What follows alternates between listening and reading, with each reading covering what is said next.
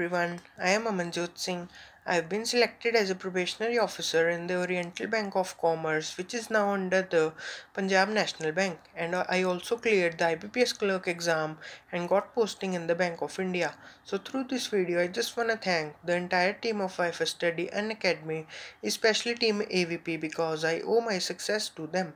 So, it's been almost around two years for me that I've been preparing for the banking exams, but it was a year back that I came into contact with the team AVP and looking at their teamwork, uh, their extensive coverage of the syllabus, and also their innovative questions, uh, it just boosted my preparation and it completely changed my whole attitude.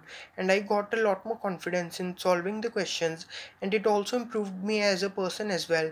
So, thank you very much, Team AVP. For the current aspirants, I would say that they need not to worry because until they are doing their level best each day, they would be selected, and also Team AVP is there for them, so they need not to worry at all. So, thank you very much. All the best to all, and Jai Bharat.